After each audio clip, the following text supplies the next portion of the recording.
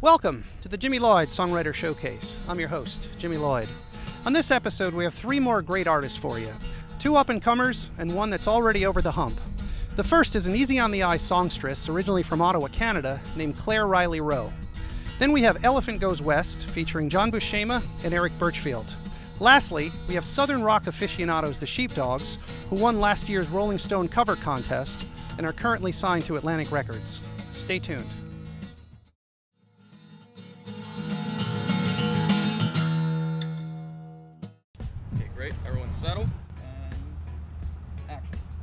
Here with Claire Riley Rowe on the New Jersey waterfront. Oh, so many cameras. Huh?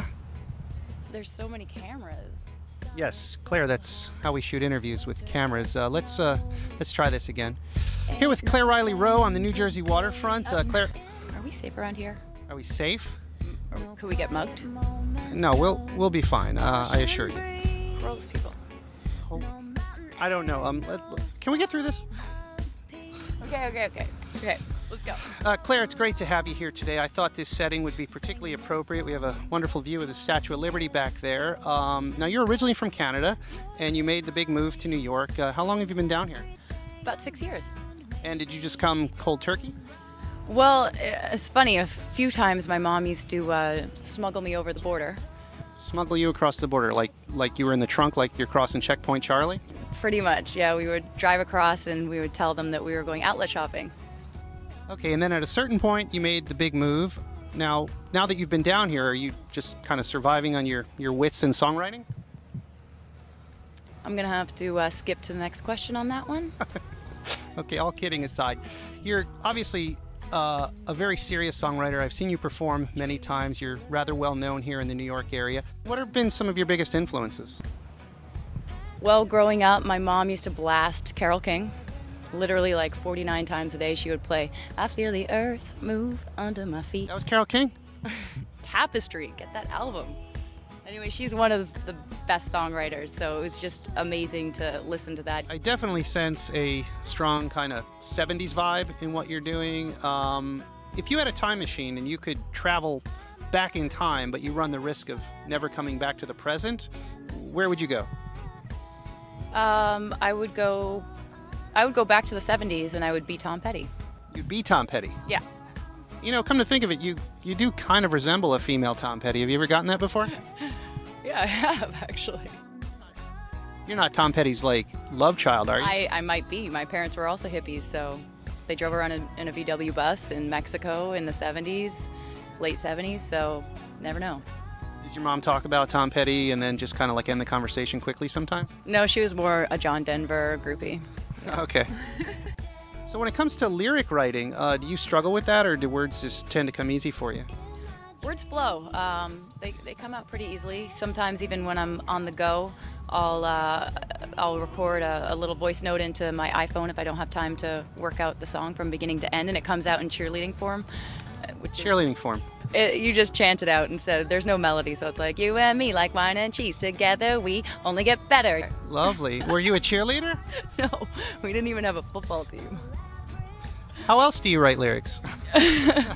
Yeah, I don't only write lyrics like that. Um, like I said, I like to observe and see life happen in front of me. Uh, I'm lucky to have girlfriends with a lot of dysfunctional relationships, so I get to take from that. Sometimes I get text messages and put them right into a song. You'll take your friends' text messages and, and put them into your song. Absolutely, yeah. Well, you might run into some publishing issues down the road, don't you think? I- I'm lawyered up. I'm good. Okay, you're good with that. Now, you recently released your debut CD, Island in the City, and how's that been going for you? It's been cool. It was great to record. I worked with uh, producer Tony Black on it. The feedback's been awesome. Girls tell me they like to make out to it. Guys say that it's good for driving and they're happy their girls want to make out, so everyone's happy. I've seen the video for this song, and it looks like you particularly enjoy uh, driving the director crazy in this video. Art imitates life. I definitely drove the director, the real life director, Carter B. Smith, crazy. I think I can, I think I could relate to that. What was what was the premise supposed to be? We didn't have a premise for a while. Uh, we had a date set to shoot. Um, Carter is this awesome New York City glamorous director that only shoots rock stars and supermodels. And literally, me driving him crazy over the course of the week of planning it, uh, I came up with this idea of let's have this director character who was played by actor Jeremy Sisto. Great to have him in the video. He was so angry and so funny. Very, very funny guy. What was the primary issue? Well, you know, it's it's like living in New York. Um, New York is a really fast-paced city, and and uh, pretty girls around here have to kind of show that. The whole idea was he was trying to get me to be glamorous and naked, and and I just wanted to play music and get high with the band. So he didn't really respect you for your, your artistic integrity. Exactly. Well, I, I hope I hope we're doing a better job of that today, and uh, it's been really great having you here. I really wish you uh, all the best of luck. Uh, you're a lot of fun to be around, and um, looking forward to seeing you play play live soon. Thanks. I really appreciate it.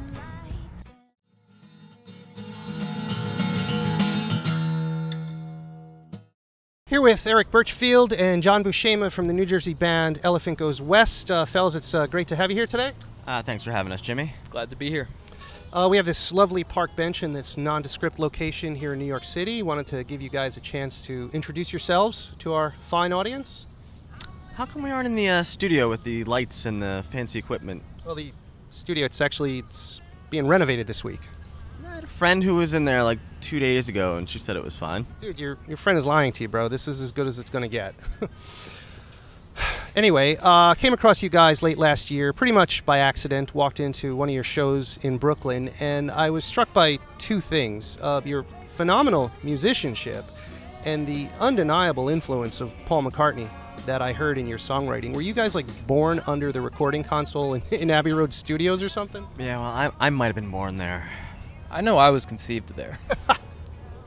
Am I wrong though in hearing this strong McCartney influence in your songs? Not at all. Uh, the Beatles are will always be my favorite band, and my favorite Beatle will always be Paul, the cute one. And uh, uh, they're probably my foremost biggest influence in my songwriting. Would be Paul McCartney. Does that go for you as well? The Beatles, they're kind of like the Bible of making music, and Paul's kind of like Jesus. Now, when it comes to songwriting, do you guys collaborate Lennon and McCartney style on all of your songs? Uh, sometimes. Sometimes uh, a song will be a 50 50 split right down the middle with collaboration. Sometimes I'll come to John with a song that's, you know, 95% of the way there, and I just need John to t- tighten it up. And And- And do you focus more on the music and John the lyrics, or how does how does your songwriting process itself work? I'm. Uh, I'm a melody guy, and that doesn't necessarily mean lyrics, but I'm hearing the voice section, the vocal part. John is an arranger. John, I'll it'll be a skeleton of a song, and I'll take it to John and give it its meat. do a lot of the production work, um, getting the sounds, figuring out what direction to take a song in, and how to establish the groove, and you know, make it sit right. I've been in the studio with you. Uh, what are some of the, the techniques that you use to make some bizarre sounds? Uh, one time we had a washing machine that we hit with a mallet. The neighbors enjoyed that one. um, beer bottles with bottle caps in it. Um, you know, producer shouldn't give away his secrets. Now, I know you guys love to overdub. Uh, what's the uh, Guinness record uh, for you guys in terms of the number of overdubs you put on a you put on one song? I'm not sure. Um, We can get up to like 80 to 100 tracks Yeah. on any given. A bit obsessive compulsive, don't you think? Yeah. In the past, you've said that your music comes first and then your lyrics. Uh, how did you actually describe that to me the first time we talked about it? Um, so you have a song, and it's a finished song except for the lyrics. You sit around and you play it, and you speak in tongues practically until something sits right. So it's just total gobbledygook. Yeah, absolutely, Dr. Seuss. But when the words finally do come, do you find that they have particular meaning to you, or is it just what sounds good, what what fits the, the melody? No, it, they do have meaning. It's it's all from the subconscious. Uh, you know, I'll be n- spouting nonsense until this turn of phrase that I can write 25 pages about if I wanted to pops out, and that's that's how I write. What do you like to write about? Um, drunks. Drunks. Yeah. Uh, Being drunk or being around drunks? Both. Both. Uh, big fan of Charles Bukowski, you know, the famous drunk author. I love drunk authors, so I like writing about drunks, be it desperate drunks or happy drunks, or love it. That's what I And- about. And John, you share this uh, this pastime, Uh, I don't do a lot of lyric writing myself. but you do a lot of drinking, Eh, as much as the next guy. yeah. Okay. Now you guys also have an alter ego. Elephant Goes West uh, itself is your primary band, but you go by another name as well, the the Keepers of Stilltown. What's what's that about? Yeah, uh, we're in the Keepers of Stilltown, which uh, we're the backing band for this enigma wrapped in a mystery, wrapped, wrapped in pork roll, called uh, Jimmy Jimmy Lloyd, You guys play with Jimmy Lloyd. the one and only Jimmy Lloyd. Yeah. We're, we're pretty lucky. I mean, I've heard of him, but I can't say I've ever known anybody who's gotten that close to him. What what's what's he really like? It's dangerous. You never know. Uh, you don't want to turn your back to him. He might hit you in the back of the head with a blunt object or something. He's got a lot of pressure. He's got a lot on his plate right now. yes, very famous. Very famous and uh, shady individual. Well, I think you guys have a really wonderful future ahead of you. I consider myself really lucky to, to know you as friends and also as fellow bandmates, and I just wish you the absolute the absolute best of luck. Oh, thank you, Jimmy. Thanks, Jimmy. So sweet. Such a gentleman. Scholar, songwriter, lyricist, poet. All right, cut.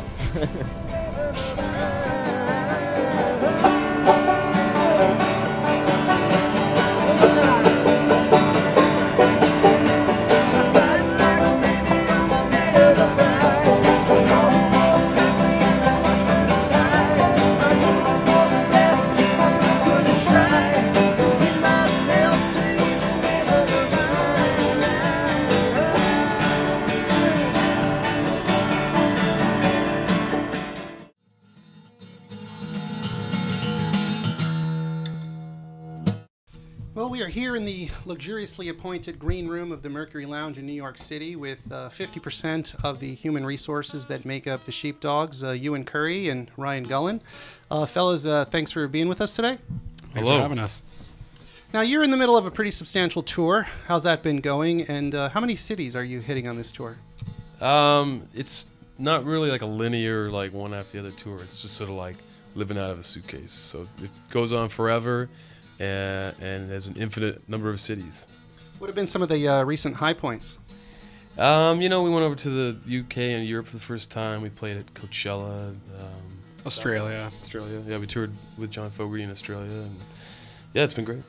Now, you guys are originally from Saskatoon, which, from what I understand, is somewhere in Canada. And I like to pride myself on the intelligence of our audience, but for those who may not know where Saskatoon is, where exactly is it? Let's say this is Trenton and this is Montana. Where's Saskatoon in relation to this? Right above, like Yeah. your map? I think it's sort of like about here. right above Montana Right and North here. Dakota. Okay, so Trenton doesn't help at all in terms Trenton, it's a little bit. You know, you'd have to really. Yeah, I'm thinking. I'm thinking in Google Maps, but I can't explain it. Okay. Well, for your audience who may not know, it's the capital of the fine state of New Jersey. Little little trivia there. Um, the obvious question is for four guys from so far north, how did you come to make such great southern rock music?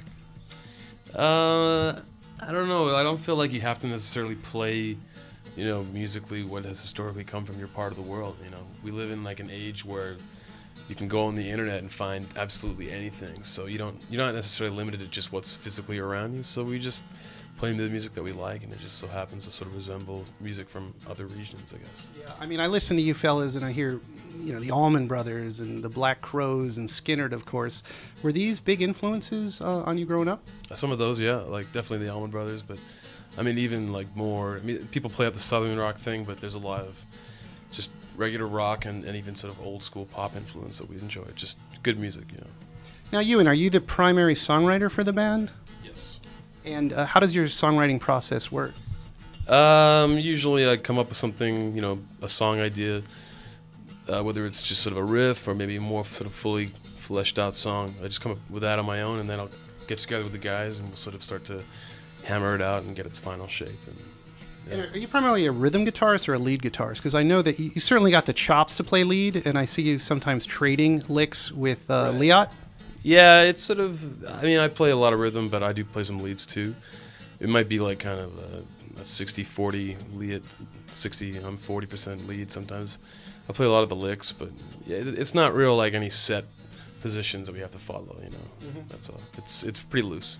And Ryan, how long does it take you to you know find the groove in, in his songs and, and really put a nice bass line to it? Usually, I mean, a lot of our songs are derived, you know, in a jam kind of setting, and then in our last album, Learn and Burn, spent a lot of time just kind of figuring things out and actually just recording it ourselves. So I would try different things, try different stuff, and sometimes you just come and say like, "I like this, play this." Do you go with your gut a lot, or do you spend a lot of time like overthinking, uh, you know, what you've done? The bass players that I look up to or that I appreciate are you know busier and um, you know add something to the song as opposed to just being like a strict like backbone kind of thing. So I like to kind of listen to what the guitars are doing, what the drums are doing, and kind of fit somewhere in between there. Um, I, I maybe overthink it in the sense that I try to be as interesting as I can be because that's what I really appreciate. You know, guys like Paul McCartney and people like that who you know their their their bass lines really make sometimes make the song or at least make it a lot more interesting. Well, I, I, had the privilege of seeing you guys at South by Southwest a few months ago, and just the way it worked out, I found myself standing in front of the bass amp. And every time you hit a string on that Rickenbacker of yours, it just felt like a, a cavalcade in my chest. Now, were you doing this on purpose? I don't even think it was much of a, a very big amp in that in that sense, but uh, yes, I was doing it on you purpose. a really big sound. I think that's what happens when you stand in front of the bass amp. You want to try and just stand a little more to the Yeah, side. lesson learned there. Yeah. Now, I, like many other people, uh, came to learn about the sheepdogs one day last year when my Rolling Stone magazine arrived in the mail, and I saw you fellas on the cover, and I was like, "Who are these guys?" How drastically did your life change, like the day before and the day after that cover came out? Um, well, to be honest, it was more gradual build than you know the overnight thing that people often think.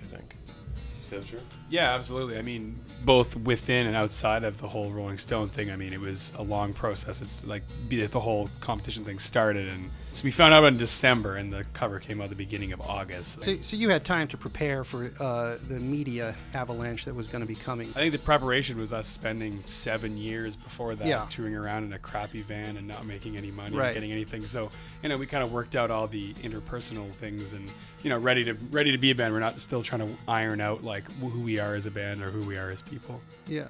But I think that any of the rise and exposure that came from that meant that we could start, you know, playing music full time, not having jobs, things like that. But obviously, there's so much work to be done. I mean, that's why we're constantly touring and making a new album and you know recording and all that kind of stuff. Is because we want to keep like building on that. You can't just be on the cover of Rolling Stone and then just kind of call it a day and just sit back and expect money to start rolling in. You've, you've bucked a lot of trends over the years. Um, did you ever deviate from the type of music that you write, or was it always this kind of classic rock uh, sound that you've uh, that you've written?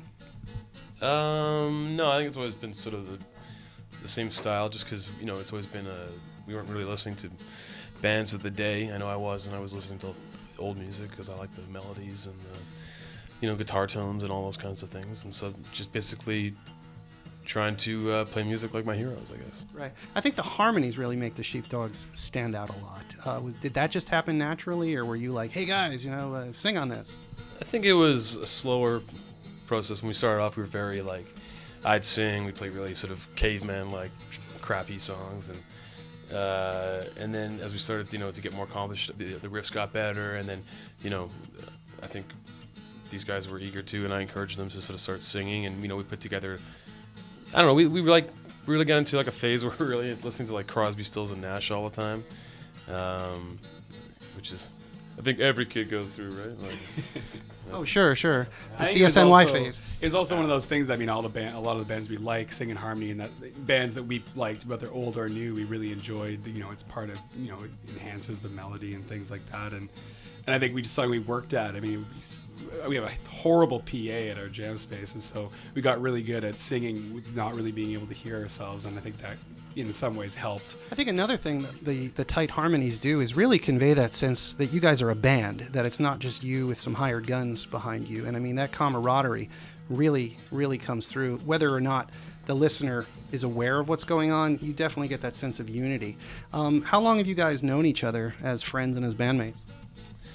Um, I don't know. Ryan and I went to high school together, but we weren't really friends until grade 12.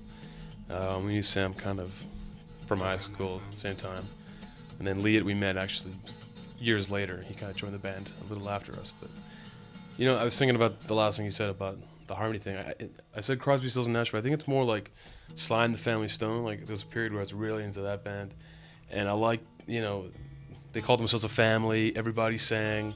Everyone played a really good instrument. I like the a band where the guys are not only good, you know, not only good at their instrument but can sing as well. You know, the band. Uh, you know, there's a million examples. But Yeah, it's that- like a, a call and response uh, quality, and it really is. You know, uh, I think like a like a family vibe. Absolutely. You touch call on- and response, and also like we we try to feature in some of our songs, but also like you know even like that's the best part of the Grateful Dead to me. You know, not the long jams, but the that sort of tightness, that sort of family kind of like brotherly bond that they have, and it just kind of makes the music more sort of positive and makes you feel better. Yeah. It also makes it more genuine, I think. Yeah, As well. I recognize that when we had uh, a few minutes to talk uh, down in South by, I left and I thought, what, what genuine guys. I mean, when you think about the, the level of opportunity that is before you and like everything that's going on as a result of the, uh, the Rolling Stone cover and everything it's led to with Atlantic Records and all, you guys really could be carrying yourselves in a much different manner, but I, I was definitely struck by how just open and honest and, and nice you were uh, when we met after your show. We are Canadian. We're we're secret assholes. That's what we are. Also comes from you know coming up and seeing the way that people that thought they were they were big acted towards us, and I don't think we ever want to emulate some of those people we met over the years Yeah. as well. Now, having paid your dues and knowing what you wanted all along, and, and as you're getting closer to it, um, is it different than how you thought it might have been, or is it unfolding exactly how you kind of thought it would be? Uh, you know, I don't think we knew, you know, what we're getting into when we, were, you know, started this competition and everything. I don't. There's no sort of prerequisite for it. It was the first time it ever been done, and it's, uh, you know, it's certainly a, a unique experience. Yeah, I think that obviously we were at a point where we really wanted to like make something happen, and so we weren't, I guess, necessarily sure. But obviously, like, you know, getting to know what it's like to be on the road nonstop, living out of a suitcase. Maybe not exactly what we expected, but it's what we want to be doing. We want to be playing music to people. I think that was probably you know the biggest life change. Is you know you, you always want to be like I want to be full time musician. I want to be on the road, just making music, and then you realize it's a lot more on the road and a lot less. Yeah, be careful what you wish for. sometimes. I realize being on the road sucks. I imagine you're probably starting to get access to people you never thought you might ever meet. Have you found yourself in these situations in a room with like maybe an idol or somebody you thought like, oh my god, I can't believe that's him standing right there? Yeah, a little bit. I mean, there's some, you know, opening for Fogerty obviously is pretty huge because I can remember being a little kid and listening to it, wearing out like a Creedence tape, and you know, Kareem Abdul-Jabbar is a strange guy to see in person. Is that one of your shows?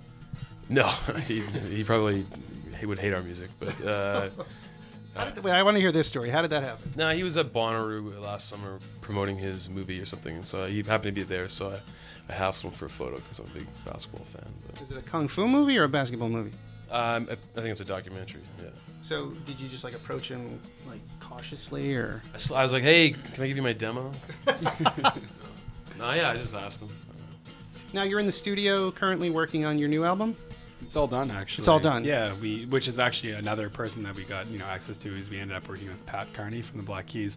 I mean, starting as a band and you know really enjoying the music from kind of the beginning of our band. It was pretty cool to be able to you know work with him, become friends with him, and have him produce our record. Were all your songs written when you went into the studio, or did you just work them out right there?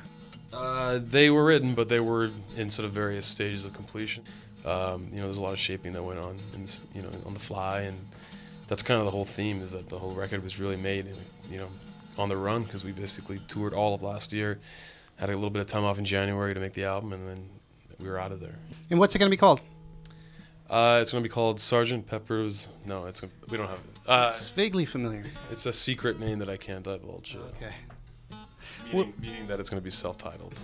How about Sheepdog's Graffiti? Led Zeppelin. How about in through the Oh, dog I see. door? there, you might be onto something here. Do any of your yeah? do any of your amps go to 11?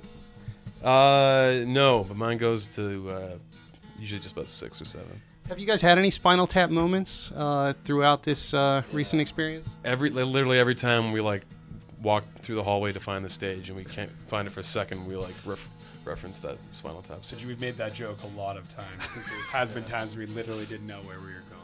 That and uh, once I had a cucumber and tinfoil in my pants. Speaking of where you're going, where do you guys think you're going? Where do you want to be a year, two years, five years from now? Uh, you know, hopefully hobnobbing with Bono and you know hanging out with Nelson Mandela and so, I don't know. I hear Bono never picks up the bill at a bar. So uh, then I'm not. Then I'm out. Not someone we should be hanging out. with. I'm out. I don't have any money, so. Well, it's been really awesome spending some time with you guys. I know you got to get up to your sound check, and I really appreciate you taking time uh, out of the tour to uh, be on our show. Wish you the best of luck, and I just really am looking forward to the new album. Great. Thanks a lot. Bye. Thank you.